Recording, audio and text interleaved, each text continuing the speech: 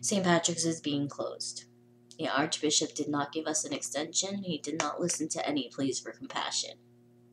This is a man who's supposed to be leading a flock of people and teaching them kindness, compassion, forgiveness, understanding, turn the other cheek, all of that wonderful uh, Bible stuff.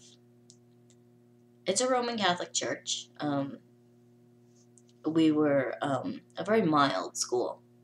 We were never taught to judge based on religion, sex, orientation, anything like that.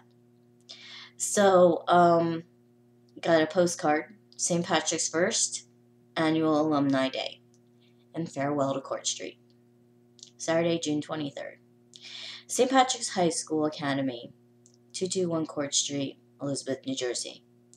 Come stroll through our historic school buildings one last time. Check out old classrooms, meet with former classmates, connect, and build a new tradition. What Mr. Picaro is doing is he is taking the school with him when he goes. He is opening up a private, non denominational school. He is going to teach our future generations kindness, compassion, forgiveness, non judgment, regardless of what religion or even atheism.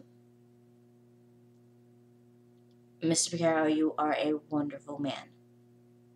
There are very few people like you. There are very few people like the rest of the staff. You people are amazing. What you've done for us. Thank you. And I wish all the best.